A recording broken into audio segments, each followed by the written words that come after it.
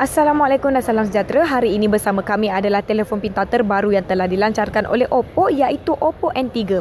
Oppo N3 merupakan kemas kini kepada N1 yang telah dilancarkan pada tahun lepas dan ia turut membawakan kemas kini spesifikasi dan sedikit perubahan pada reka bentuk. Menjadi fokus kepada peranti ini adalah sokongan kamera berputar mekanikal di mana ia akan berpusing secara automatik apabila pengguna tekan butang kamera belakang atau depan.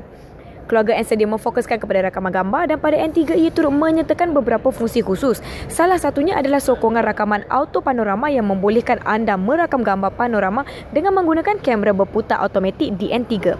Selain itu, peranti ini turut dilengkapi sokongan rakaman super micro dan satu lagi fungsi yang diminati ramai jurugambar iaitu rakaman dalam format RAW.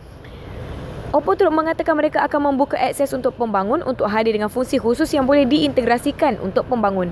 Dari segi reka bentuk agak pelik sedikit memandangkan Oppo menyertakan audio jack pada bahagian kanan ia mungkin kerana mereka ingin memuatkan motor untuk berputar pada bahagian atas. Pada bahagian bawah di bahagian kiri pula ia menyertakan ruangan pengecasan pantas dan pada bahagian atas ruangan SIM dan micro SD. Oppo N3 hadir dengan sokongan dui SIM dan ruangan SIM kedua berkongsi tempat dengan ruangan micro SD.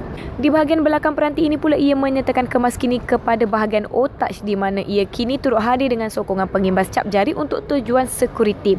Fungsi popular Oppo seperti gesture dan dui tap untuk mengakses peranti turut disediakan. Pihak Oppo menyasarkan untuk memasangkan peranti ini di Malaysia sebelum hari Natal 2014 ini.